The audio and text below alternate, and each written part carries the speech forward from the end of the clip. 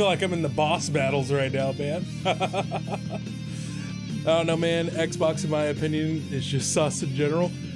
It's so there's a reason behind that, right? So the reason why even developers right now prefer to work on the PlayStation 5 instead of on the Xbox Series X is the same reason why developers loved working on the Xbox 360 but hated working on the PlayStation 3. And it's all about the the the developer's infrastructure, the architecture that they get to work with behind the scenes. Because when you make games, essentially you have most most games you see are obviously made on PCs, but on top of that, they the best way to describe it is like they have to fit inside of this little playground. And this playground is the architecture of your PlayStation 5 or your Xbox Series X. And in that playground, you have to fit all of your toys, all of your pieces, all of your jungle gym sand, all that stuff in this small box that is the architecture of a console. Uh, the problem that you end up running into is when you have a method that ends up working for making games inside of your little playground, right? Inside of your little rectangle. You know how to make everything inside of there. Now, not only are you trying to make everything that you have work inside of that, you then have a new playground to work with, which is the PlayStation 5 and the Xbox Series X. It's bigger. Here's the problem. If you don't do it right, it's more complicated trying to work in it. And then maybe, oh wait, this this this piece doesn't fit over in this box and this doesn't fit in that. And the problem you end up running into is that the PlayStation 5 and uh, the Xbox Series X infrastructure is more complicated for developers to work with than the Xbox uh, One X was, right? So what ends up happening is you can't translate one for one all of the the same exact methods of development that you'd want to use, uh, and you have to restart from the beginning a lot of things that you'd normally do very easily. That's the problem that Halo is running into right now with Halo Infinite. That's the same thing that developers ran into and why they hated working on the PlayStation 3. The infrastructure was entirely different from the PlayStation 2. It was not easy to work with. It was cumbersome. So the same exact reasons that people uh, hated developing games in the PlayStation 3 is the same issues that people are having now with the Xbox Series X. And over time, people will become much more efficient with it, just like with the PlayStation 3. I mean, the jump from Uncharted 1 to The Last of Us, just looking at the same developers from Uncharted 1 to The Last of Us, is a very big leap in quality from people working on the same console infrastructure. So I am completely confident that by the end of the Xbox Series X's life cycle, there's going to be some gorgeous and amazing and well optimized games on there. Uh, but until then, it's a steep learning curve. And the PlayStation 4 and the PlayStation 5 have a very similar playground, a very similar architecture. So it makes it very, very easy for developers to just come in, take exactly the same working methods that they use for developing on the PlayStation 4 and transfer them like right over to the PlayStation 5. So like it's not even like a console wars thing. It's just it takes time to get used to all of this stuff, you know? It's just gonna take some time. I'm excited to see how it's gonna turn out though. I'm excited to see how it's gonna turn out. There's uh there's a lot of potential. There's certainly a lot of potential there. But it just um it's just gonna take time, man. It's just gonna take time. And it's just like it's all like chat. It's it's already hard enough to make a video game, right? So not only for games like Halo or like Call of Duty are developers making it for the current or past generation of consoles, trying to adapt and learn how to make every single thing work on a next generation is absolutely insane. And I commend games that start off as, you know, launch titles for a console, but are, you know, uh, multi platform. Like, that is hard to do, and especially to actually make it a decent game. Like that's why i am genuinely in all of in awe of Valhalla because I've had less bugs and technical issues in this game than I've had with Odyssey, and yet the yet the vastness of what they've had to do to cover all these console bases is insane, absolutely insane. That was a good take, but I'm scared uh, that PlayStation 5 will have too many exclusives and Xbox will lose good games. Not necessarily. I, I think Xbox knows about PlayStation 5's and PlayStation in general's upper hand with all of these exclusives. But the way PlayStation is doing their hand right now is bombarding you. They're bombarding you with nothing but exclusives because they've been timing this out perfectly. They've been getting all of their developers in sync to work and get these games out at certain times so you feel constantly bombarded with PlayStation exclusives and you feel like you're getting your bang for your buck for being a PlayStation member, right? But Xbox is playing the long game here. And even though it's a bit worrisome now, you'll eventually see that they played a very, very smart game. Because Game Pass is as much as I like a, like to joke on it because it's like, oh wow, with my Xbox Series X, I can play all the games that I already owned beforehand and nothing new.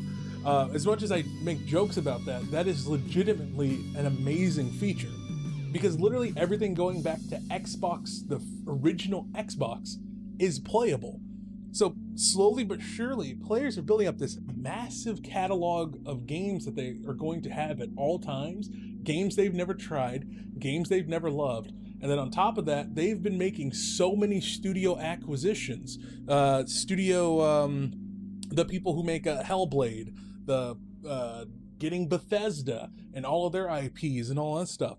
They are playing a long game so that they are trying to get themselves into shape they're trying to get their developers into shape.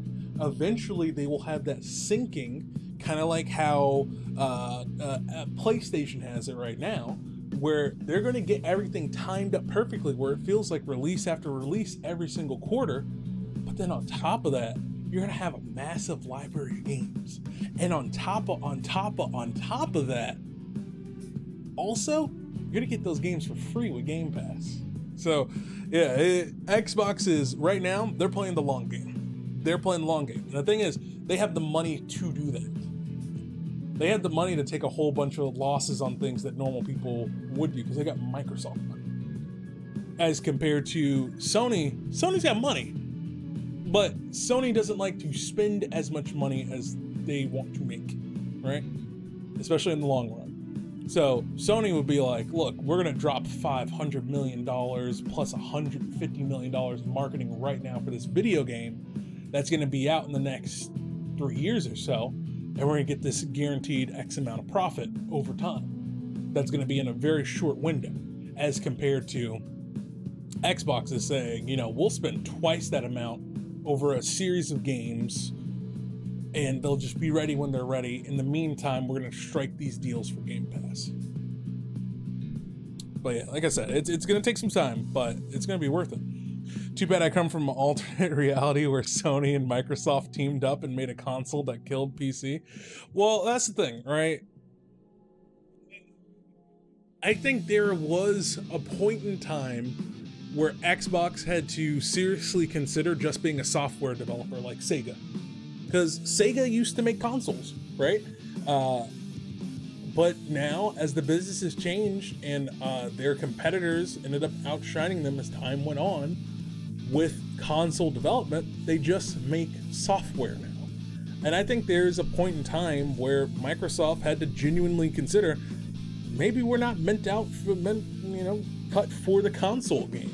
But there was a lot of issues that they had with the Xbox 360 that almost killed the console because of the red ring of death and all that stuff, and that cost them a bunch of money. To the lukewarm reception and kind of losing essentially the console wars of the Xbox One era. There's a there's a lot that goes into it, and I think there is a, a, a genuine timeline that we don't live in, but there is genuinely a timeline where they consider where there is no Xbox Series X and they just have Microsoft Studios games, right? And it's just one big Microsoft Studios umbrella and they just make games, you know? Still making a profit, but they just cut their losses on the consoles, you know? But uh still at the end of the day, PC is just its own market, so there's no killing that. So that that second part of that statement, there's just there's no there's no killing PC, especially when a lot of, in most cases, it is the superior experience to a certain degree. But yeah, I mean, it is it, it is. Oh my god, my controller just fell. But it is interesting to think of a timeline of where, you know, what where Microsoft could still be around, but as a software developer only. Really fascinating. It's fascinating to think about how that industry would change. Because I bet you back in the day, no one would have ever thought that Sega would stop making consoles. So, time reveals all in the end, and we look at history and the fascinating waves that it ebbs and flows, and we're honestly looking at a possibility now that Sega ends up being bought out by Microsoft. They have a really good relationship together. You know? It's fascinating. I love talking about this stuff. It's truly fascinating. I wonder what's going to happen to Nintendo. Oh, dude, Nintendo's fine. Now Nintendo's fine. Nintendo during the Wii U, that was scary, but Nintendo's fine. They're fine. They have they have finally found a stronger footing in the current gen of consoles because they realized, okay, maybe we can't spend, you know, a shoelace and and a piece of copper on the development of our hardware, and we should actually spend some money to make, you know, make our uh, our consoles a little bit beefier. and actually perform so developers have a little bit easier of a time making games on there. But uh yeah, no, Nintendo's fine. Nintendo's Nintendo's fine. They're they're making money hand over fist because they literally just fist nostalgia down your throat in a slightly repackaged way, and we just buy it and eat it up. They are truly the Disney of gaming. They are just yeah. They, they don't have to do much, and they're they're making money. not that I'm not saying their games are bad. I'm just saying like they don't have to do much in order to sell very well, and they realize the mistakes that they made in the Wii U era and the the way Nintendo D double D S P S P Q X Y Z 4D plus six divided by nine 365 days over two sleep edition of their Nintendo handheld console. So they don't have to do that stuff anymore. Uh, and they they realize the mistakes that they made there. But uh, yeah, Nintendo's doing great with the Switch.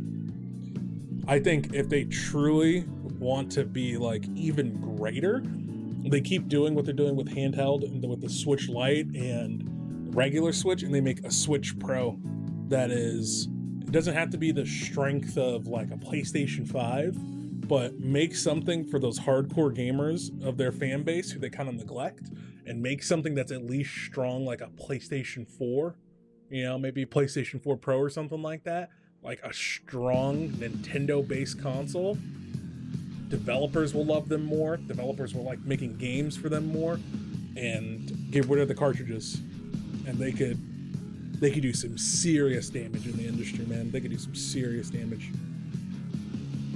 The music where you sit in the bar to catch you is amazing. Yes.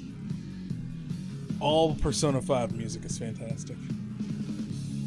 But chat, we've been chatting too much. Chat room, we're almost 30 minutes into this stream and we haven't even started the game. You got me, you got me sitting here blabbering my mouth talking about things I enjoy. Stop it. you gotta play some video games, chat. This is Twitch. What are you doing? Let's see here. Hold on.